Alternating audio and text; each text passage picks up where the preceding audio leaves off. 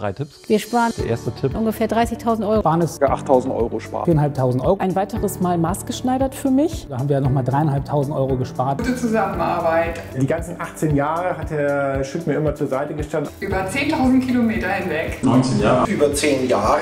Ralf Schütt ins Es gab einige Sachen, die Herr Schütt für uns geklärt hat. Seminar zu gehen. Zwei Seminare besucht. So, dass wir das gar nicht gemerkt haben. Vorausschauend. Herr Schütt vertritt selbstverständlich die Interessen seiner Kunden Der für mich arbeitet und eben nicht für meine Bank. und nicht die der Bank. Genau das, was wir wollten. Probleme gab oder wie machen wir das, wie lösen wir das. Dadurch sticht man eben auch Mitbewerber aus, ähm, die die Wohnung auch haben möchten. Das Beste, was mir überhaupt je passieren konnte, ist Der war immer mit Rat und Tat, statt immer beiseite. bei Herrn Schütt gelandet. Die Verhandlungen waren nicht immer einfach mit der Bank, aber dank ihres zähen Verhandelns Kompetente Kompetent, Beratung sehr ehrlich. außerhalb von einer Bank. In guten Händen. Das heißt wirklich jemand, der sich um die Person kümmert. Gut aufgehoben. Ralf Schütt. ist es gut gelaufen und Herr Schütt hat es tatsächlich geschafft. In kurzer Zeit mir eine Finanzierung aufgestellt hat, die Sicher. Hand und Fuß hat. einfach, Gut aufgehoben. Verständlich. ich kann es mir nicht besser wünschen. Sehr viel Arbeit abgenommen. Dann Ich bin sehr froh, dass ich mich nicht persönlich um diese ganzen Dinge kümmern musste. einen persönlichen Termin. Ein gutes Gefühl, das einfach abgeben zu können. Bei der Maklercottage wurde tatsächlich ein riesengroßer Batzen. Du weißt auch, was du machst. Das war eigentlich nicht verhandelbar. Ich bin praktisch ein reicher Mann geworden. Hat Ralf dann doch irgendwie hinbekommen. Wie genau ist mir ehrlich gesagt immer noch ein Rätsel, aber ist mir auch wurscht.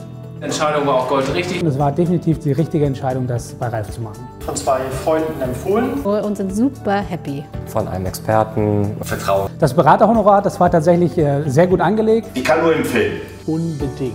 Weil wir dann so viel eingespart haben, dass das Beraterhonorar ähm, schon, so, schon direkt wieder ausgeglichen war und sogar noch für uns einen wirtschaftlichen Vorteil gebracht hat. Sind glücklich und zufrieden. Es lohnt sich. Daher wären wir jetzt ganz alleine, ohne Berater, dieses ganze Projekt angegangen, hätten wir sicherlich, wenn uns einige tausend Euro durch die Lappen gegangen. Sehr gut aufgehoben gefühlt. Also es ist uns sehr wichtig, jemanden an der Seite zu haben, der auch in der Zukunft äh, bereitsteht für Fragen rund um Immobilien, rund um die Vermietung. Buch äh, hilft einem sehr. Wie war's? Äh, Ich habe jetzt ein super Gefühl, wenn ich jetzt anderen äh, Freunden, Bekannten davon erzähle, weil ich weiß, da ist wirklich jemand, der sich um die Person kümmert.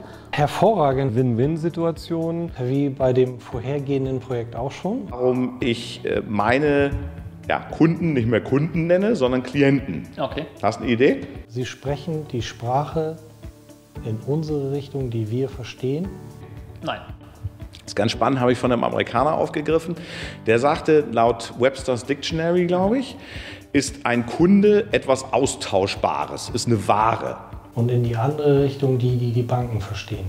ist eine, die Amis sagen Commodity. So. Ne? Das ist so wie wenn, was weiß ich hier, äh, ähm, äh, Vodafone sagt, wir verkaufen jetzt, keine Ahnung, 50.000 Kunden, dann bist du eine Nummer. Ja. So, und Klient ist jemand, äh, mit dem man ganz langfristig zusammenarbeitet und wo man sagt, okay, wo es einfach äh, darum geht, dass man äh, das Bestmögliche in der Situation macht. Ja, und äh, er sagte das sogar, äh, das war ganz interessant, also er sagt eigentlich äh, in Anführungsstrichen so als erweitertes Familienmitglied. So, und dass man sagt, okay, wenn ich an deiner Stelle wäre und die gleiche Situation hätte mit Eigenkapital, Wohnsituation, Familie und so weiter und so fort, dann würde ich das genau so machen.